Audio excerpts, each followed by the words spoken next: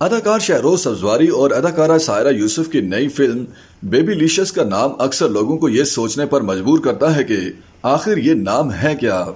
और इसका मतलब क्या है? बेबी लिशियस ऐसा लफ्ज है जैसे आप प्यार में किसी को पुकारते हैं। सरसों के खेत और उनमें रोमांस करता एक जोड़ा ये मंजर तस्वर करते ही जाने कितनी फ़िल्मों के नाम आपके जहन में आ जाते होंगे। लेकिन यहाँ ज़िक्र है इस ईद पर रिलीज़ होने वाली पाकिस्तानी फ़िल्म बेबी लिशियस का।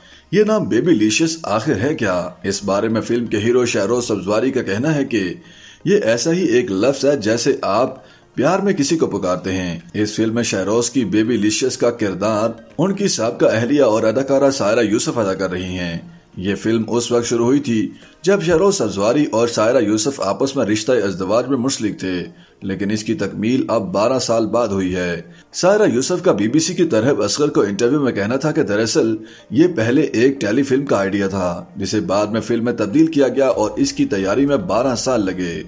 इसकी शूटिंग में चार साल लगे।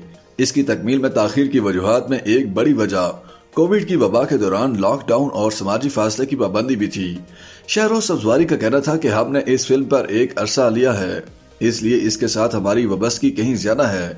सायरा और शहरोज की जाती ज़िंदगी में रोमांस ज़्यादा देर नहीं रुका और चंद बरस की रफाकत के बाद दोनों अलग हो गए। अब फ़िल्म की प्रमोशंस के दौरान उन्हें एक साथ हँसते मुस्कुराते देखकर लोग हैरान हैं और अपनी इस हैरानी का इजहार वो सोशल मीडिया पर भी कर चुके हैं, जो किसी हद तक नागवार तासरात पर भी मुमडी है। इस हवाले से सारा यूसुफ का कहना था कि फ़िल्म जब शूट हुई, हम शादी के रिश्ते में थे तो हम अब रिलीज़ के मौका पर अलग हैं। तो लोग सोशल मीडिया पर नागवार कमेंट्स करते हैं। उनका कहना था कि, लोग अजीब बातें करते हैं, इसलिए मैंने कमेंट्स बंद कर दिए हैं। उनका शिकवा था कि अवाम प्रोफेशनल और जाती चीज़ में फ़र्क नहीं कर सकते। सायरा यूसुफ ने तलाक के बावजूद शहरोज के साथ काम करने और खुशगवार ताल्लुक के बारे में कहा कि, यह हमारी सकाफत का हिस्सा ही नहीं, यह हमारे कल्चर का हिस्सा नहीं।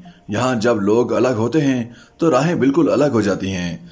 हमने अपनी बच्ची की परवरिश के लिए रबते में रहने का फैसला किया। हम बच्ची की खातिर रबते में थे। इस हवाले से शहरोज सब्जवारी का कहना था कि मैंने अपने खानदान में लोगों को अलग होते देखा, लेकिन उन्हें बच्चों की खातिर साथ बैठते और खाना खाते भी देखा। सारा यूसुफ का कहना था कि इस फ़िल्म में कई छोटे छोटे पैगाम हैं। कई बातें ऐसी हैं जो आपको सवाल पूछने पर मजबूर करती हैं। लेकिन दर्जनों पाकिस्तानी और इंडियन फ़िल्मों का रवायती रोमानवी मंजर, जिसमें सरसों के खेत में एक जोड़ा इजहार मोहब्बत करता नज़र आता है, उसे अपनी फ़िल्म का हिस्सा क्यों बनाया गया? इस बारे में अदाकार शाहरोज सब्जवारी का कहना था कि पुरानी फ़िल्मों से भी कुछ तासर लिए गए हैं, जिनमें रोमानवी मंजर और सरसों के खेतों में ताल्लुक होता है।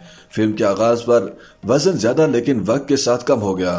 शहरोज सब्जवारी का कहना था कि इस फ़िल्म की मुकम्मल एक्सबंदी में तवालत की वजह से उन्हें बार बार फ़िल्म की लुक बनानी पड़ी। मेरे ड्रामों के लिए दाढ़ी की ज़रूरत होती थी, लेकिन फ़िल्म के लिए शेव करनी पड़ती थी। इसकी वजह से कुछ मसाइल होते। इस इंटरव्यू के दौरान शाहरोज का कहना था कि वो चाहते हैं कि पाकिस्तानी सिनेमा में अच्छी फ़िल्में बने।